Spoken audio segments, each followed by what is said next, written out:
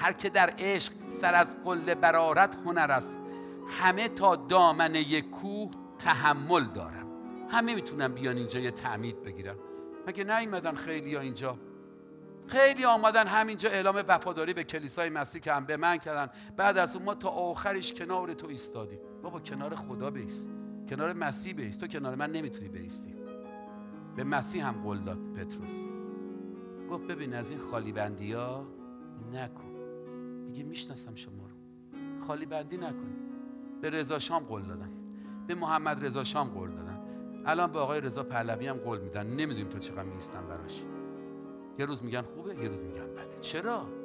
اگر کسی رو به عنوان رهبر و لیدر انتخاب می‌کنیم باید بیستیم تا آخر کنار اون شخص.